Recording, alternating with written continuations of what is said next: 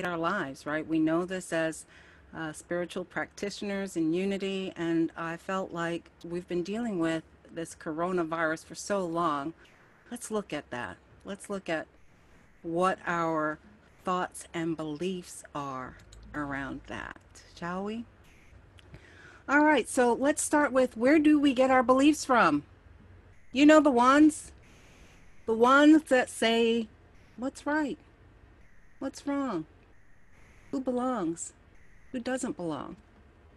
Yeah, those type of beliefs. So that's what I want to talk about today. Now, I'm going to have some questions for you during the day, during this talk. And I'm just trying to pull up my PowerPoints so that you'll be with me. So just bear with me for a moment. All right. You know, when I was preparing this talk, the quote that came to mind was the Socratic quote. And it says that the unexamined life is not worth living, right? The unexamined life is not worth living. And I think that that quote really holds us today as well. It holds us in what is ours to do. So it's a powerful statement on the journey of self awareness, spiritual awakening, and freedom. There's no truer statement as important as it is today. We all know we're in the midst of a pandemic, right? We've been dealing with this for months. And a pandemic simply means a disease that impacts an entire country or world. And we call that disease the coronavirus, or some say COVID 19, right?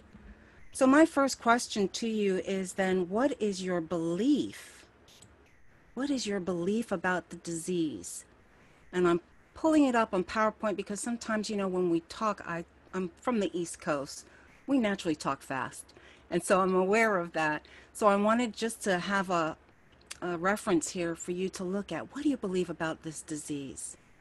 I don't want you to overanalyze it. I don't want you to spiritualize your responses. Yeah, don't worry about what anyone else thinks or says or believes about the disease. I want you to free associate, meaning let out the thoughts and feelings that are there. Whether you acknowledge them or not in your awareness, guess what? They're there. And what I find often in spiritual communities we've become conditioned to only say positive things. And that's important, it's wonderful, and it's necessary for co creation. And here's the thing we are both human and spiritual. And this pandemic has really been calling us to shift because it requires us to make peace with both the human and the divine aspects and integrate them for wholeness. So if you're willing, I want you to take a nice deep breath in and exhale. And as you exhale, I want you to witness what your thoughts are around the disease. And I want you to do it without judgment. Without judgment. You know, on my own spiritual journey, I've come to recognize that as a divine human being, guess what? I'm here on this planet to have all of the human experiences. Yes, the ones we really want, like the experiences of joy and happiness, but also those experiences that we may perceive as not of God. Not of God. And on the surface, it's difficult to find anything good about COVID 19. You know, intellectually, we know that these bodies that we're in, they're not immortal, right? We're all mortal. It's going to pass and fade. And we know that our souls are eternal. And yet, even knowing this truth, we feel anxiety and fear at this possible threat to our physical well being or the physical well being of those that we love. And I'm here to remind you it is normal to feel these things, it's part of being human. What makes us think? that we should be any different than our way shower. Do you remember Jesus when in his last days he was in the garden, right, with his apostles? What did he say? Can this cup be passed? So even Jesus experienced feelings of fear and anxiety when he hoped to forego enduring the betrayal of his deepest friends and his ultimate crucifixion. Now, as a spiritual person, it's often difficult to allow ourselves to feel anxious. You know, we may have a belief that, well, we shouldn't feel this way. You know, maybe it reflects poorly on us as spiritual practitioners. And maybe we question our faith and our centeredness. Well, I'm here to tell you, my friends, it's a myth. The dictionary has two definitions for the word anxious. The first one many of us know experiencing worry, unease, or nervousness, typically about an imminent event or something with an uncertain outcome. The second one's really interesting wanting something very much, typically with a feeling of unease. You see, anxiousness is felt whether we are worried or unsure, or even filled with desire, excitement, and happiness. Anxiety becomes a problem when we create a false belief that feeling anxiety is bad or wrong. Anxiety is simply part of the human condition. It's normal, my friends. Now, you may think, well, isn't she a minister? Isn't she like a unity minister? Doesn't she believe in all of this stuff? So you may think it's weird that I'm inviting you to acknowledge what your beliefs are, even if they seem to be negative. But hear this we cannot shift what we do not acknowledge. Did you hear me? We cannot shift what we do not acknowledge. Yes, being positive is essential to co creating an abundant life. But if our underlying fears are still driving us, then we're simply putting on band aids on a wound when surgery is really needed. So, how does that translate? It means we can have moments of joy, but if our foundation is fragile and easily broken apart by stimuli, joy will be fleeting, not sustainable. So that's why I'm really passionate about my work, which is about giving you permission to feel all your feelings, making peace with the entire spectrum, and then integrating them into wholeness. We all know this. It's in our resistance, right? What we resist persists, right? We know that. We've been saying it. It's in our resistance to what is that we create angst and suffering. So, where do our beliefs come from? Where would we get the belief that feeling anxiety, fear is bad and to be avoided at all costs? Well, I can share my journey. I learned that feeling anxiety or fear was wrong. I can remember being taught by my parents that being afraid or anxious wasn't acceptable. And this belief came partly from their inability to cope and nurture kids they had us when they were young, and partly from wanting us to be perceived by others as strong, which they felt would keep us safe. That, my friend, is a myth. Can you remember when you first came onto this planet as a child?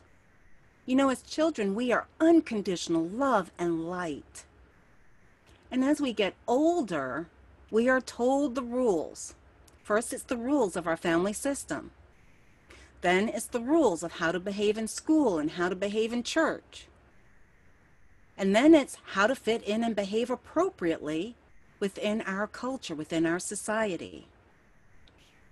You see, this conditioning eventually becomes our view of the world. It becomes our belief system. All of the systems that are here on the planet right now, humanity, humans has they've created this over time and it becomes ingrained into our own belief system depending on how our earliest cultural indoctrination occurred is how intrinsic those beliefs have become how we are taught raised, and developed becomes internalized in our psyche so much that we come to believe our understanding and perceptions are the right ones. And most importantly, the only one that matters. It's in our ability to understand that our beliefs are simply manufactured people, manufactured by other humans whom we've gone into agreement with. That is one of the most powerful concepts in our ability to change our thoughts and perceptions. Understanding that many of our embedded beliefs are fabrications, are constructs, that allows us to analyze, release, and then embrace new beliefs, which shifts our consciousness and enables us to co create the world we choose to inhabit. Now, I know some of you are probably thinking, that girl's gone crazy. What's up with that, Reverend? Don't we need rules? We need rules for our society. If we don't have them, there'll be chaos. And you know, on some level, I do agree. It's important to know how to navigate society and how to positively contribute, right? It's a good thing for the individual and for the group collective. It helps us all to get along together, right? Think of it like the rules of the road, right? When we're driving down the road to our destination, it's vital to our survival and safety to know that most, most people on the road understand when to stop, yield to another vehicle, which side of the road to drive on, how fast to go, how to change lanes, right? All of that. The rules of the road provide a way for all of us to shop, visit friends and family, travel, and much more with a relative certainty of doing this without killing ourselves or others. The problem occurs when the rules of the road become a hindrance, outdated, no longer viable or no longer useful to us. So I'll give you an example. As cars were coming into the mainstream in the early 1900s, there were quite weird rules. Virginia, that's what it said. Women are prohibited from driving a car on Main Street unless her husband is walking in front of the car waving a red flag. Wow. That seems really strange. This rule was implemented, this rule was implemented as a means to slow down women drivers from spooking horses and killing pedestrians. Can you imagine if this rule was still in force today? We would call it insanity, among some other things. This rule would harm lots of people today if it was still an accepted rule of the road. The rule had to be analyzed. Does it work? Is it a hindrance? If it is, release, and then new rules are added. And I got to tell you, our personal beliefs work the same way. A belief system that made sense to our parents or grandparents may no longer be applicable for us today. But often we think that their beliefs are our beliefs because we simply choose not to examine them to determine if they make sense for us today. And sure, we may be willing to change how we integrate like technology and scientific improvements. But often, when it comes to intangible concepts such as emotions and faith, sexuality, and gender, we're less willing to examine whether our understanding and beliefs make sense, are still valid, and are even ours or just what we've been conditioned to believe. So, my next question to you is about a new rule that's come up. Today, we're told about wearing a mask and that social distancing is what's needed to stem the spread of the coronavirus. And so, what meaning are you making about this rule? What's your belief around it? You know, maybe you think it's unnecessary Maybe you think it's good for everyone. Maybe you see it as the collapse of the economy, or it's just inconvenient or fear mongering, or really not my problem, it's somebody else's problem. Or maybe you simply see yourself as a metaphysician and therefore I'm immune. I won't get COVID. You see, we are meaning making machines. And so I'm inviting you to really look at what beliefs do you hold of this new rule? And the reason that I ask you to look at your thoughts is what meaning we make, what belief we hold, is what will make this time constrictive or expansive. Do you hear me, right? Now, my friends, we are on the precipice of great change. We are being asked to challenge our beliefs. We are asked to be challenging our beliefs. Do we continue to accept the existing systems that are in place right now? Or do we co create new systems in which everyone thrives? Well, everyone thrives. Social distancing is a new system put in place, right? And supposedly from the doctors and the medical field, it's, it's to stem the exponential spread of the coronavirus. But if we hold on to the old way of hugging and breathing on each other, you know what? Many more people are going to get ill and possibly die. The old systems that have been in existence, they've been agreed upon by many generations.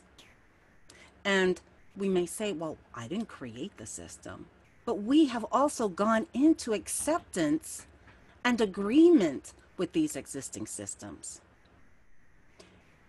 And once we learn how to navigate them successfully, it's really difficult to give up. If the old system we find worth and praise and abundance, to ask us to give up a system we are really successfully operating within can seem as if it's a threat to our very survival. You see, it's human nature to want to be seen as successful. And we will do everything we can to uphold the status quo, even if it means others don't thrive. And I think this may shed light on what's really going on in our country right now. Well, let's look at our belief system in another way. And I'll use the analogy of how our computers operate.